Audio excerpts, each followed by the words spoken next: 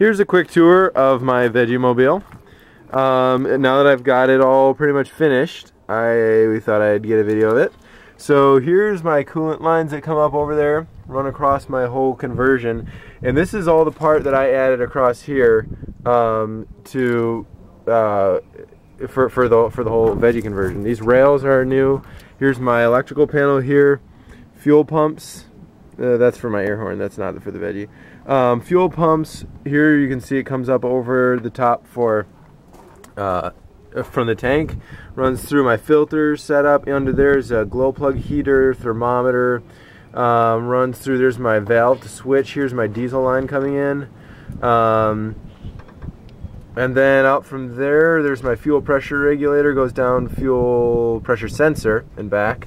And there's the valve for my return line that sends either through here to the return line back to the tank or down back there into the to the regular gas tank. So there's my setup under the hood. That's pretty much it.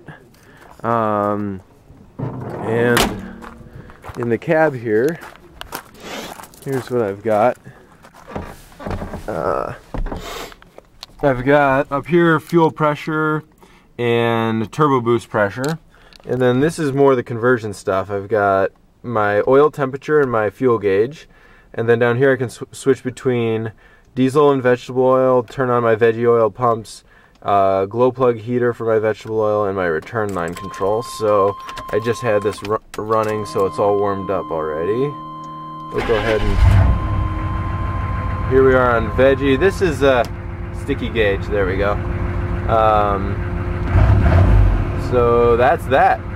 There's my conversion. You can see right now I've got my pumps on, my glow plug heater on, return line back to my veggie tank, and I'm switched to the right, which is on veggie. Got a half tank of veggie and only a quarter tank of diesel. Um, there's my fuel pressure. I just installed the pressure regulator, so I'm keeping a nice even pressure. And my turbo boost. Can't get much at an idle, but if I uh, take it out on the road, I'll get up around 13 psi.